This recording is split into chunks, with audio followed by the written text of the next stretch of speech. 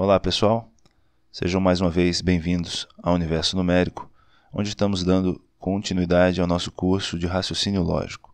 Hoje, tratando da tabela verdade, vamos fazer uma complementação da aula anterior com o estudo de uma proposição composta por três proposições simples, ok? Então vamos ao nosso exemplo. Se chove ou neva, então não venta. Como podemos identificar, nós temos uma proposição condicional ou implicação. Por quê? Se, então. Se chove ou neva, então não venta.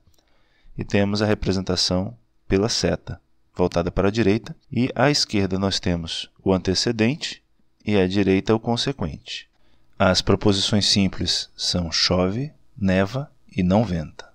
Se chove ou neva, então não venta. Percebam que ah, o antecedente é composto por uma proposição disjuntiva. Então, o primeiro passo é calcular o número de linhas que terá a tabela verdade.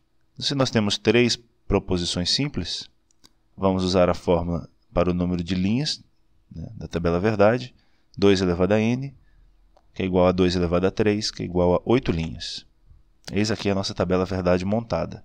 No cabeçalho nós temos as proposições simples e a proposição completa. E aqui nós temos já distribuídos os valores de V e F possíveis para três proposições simples. E aqui eu quero dar uma dica importante para vocês, que vai agilizar na hora da prova. O preenchimento dessas colunas de V ou F. Vocês não vão ficar esquentando a cabeça de tentar todas as possibilidades e verificar se não esqueceu nenhuma. Não precisa disso. Porque olha só, o número de linhas de uma tabela verdade é sempre múltiplo de 2 que é 2 elevado a n. Então serão duas linhas, quatro linhas, oito linhas, 16, 32 linhas. Como eu falei antes, raramente vocês vão trabalhar com mais de oito linhas, tá? Mas nesse caso especificamente, você pega a primeira coluna e a metade das linhas se preenche de V e o resto de F. A segunda coluna, você pega metade da metade e começa preenchendo com valores de V e alterna. VVFF, VVFF. Na última coluna, procedimento análogo.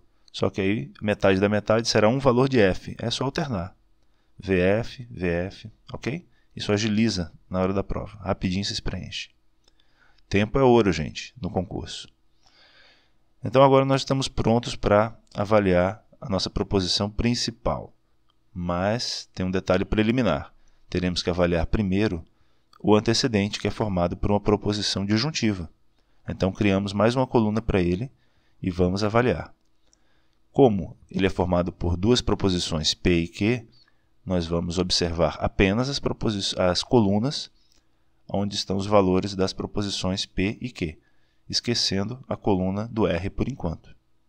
E, lembrando-se da nossa aula 3 sobre proposições disjuntivas, ela só será falsa quando ambas as proposições simples forem falsas. Isso acontece na quarta e na oitava linha então preenchemos com F nas respectivas posições e todas as outras possibilidades serão verdadeiras. Então, com isso, nós achamos os valores do antecedente da nossa proposição.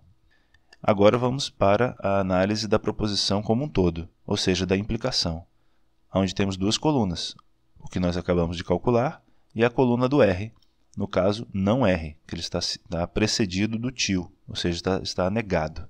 As outras nós esquecemos por enquanto. Mas eu peço muita atenção de vocês para um detalhe. Numa proposição composta condicional, ela só é falsa se o antecedente for verdadeiro e o consequente falso. Aqui nós temos antecedente do lado direito, é a coluna do P ou Q, e o consequente do lado esquerdo, certo? Então vamos buscar essa construção e encontramos ela bem aqui. Os valores de, do antecedente verdadeiros e do consequente falso. Com isso, nós preenchemos os valores de falso e todas as outras possibilidades serão verdadeiras. Atingimos nosso objetivo. Essa coluna é justamente a avaliação da proposição composta, a que nós nos propusemos no início. E é justamente esta coluna que vai servir de base para determinarmos se essa proposição é uma tautologia, uma contradição ou uma contingência, que é o assunto da nossa próxima aula. Espero que tenha sido útil o conteúdo para vocês. Caso positivo, curtam, Compartilhem com outros amigos que estejam estudando para concurso ou que se interessem pela disciplina. Se inscrevam no canal, assim vocês se manterão informados das próximas aulas e de todas as novidades. Além disso, os links para todas as outras aulas estão na descrição da aula, logo aqui abaixo, certo? E se tiverem críticas, comentários e dúvidas, deixem uh, registrados nos comentários que, dentro do possível, vamos responder. Um grande abraço, bons estudos e até a próxima. Fui.